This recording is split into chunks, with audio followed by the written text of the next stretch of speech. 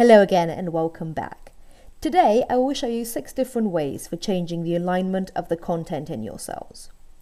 Whenever you open a new worksheet and enter numbers and text, Excel's default setting dictate that any text will be aligned towards the bottom left hand side of a cell, whereas any numbers will move towards the bottom right hand side.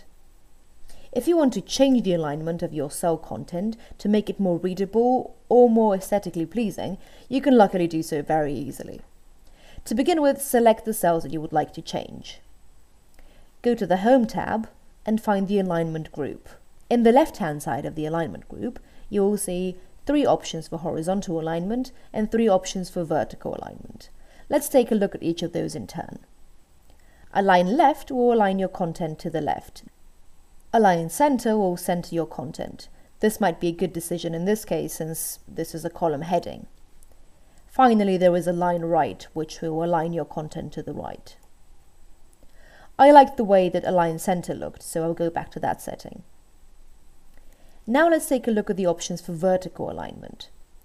Here once again we have three options. First of all, we have top align, which will align text towards the top. Secondly, we have middle align, which will move the text so it is right in the middle between the top and the bottom. Finally, we have bottom align. This will align text to the bottom.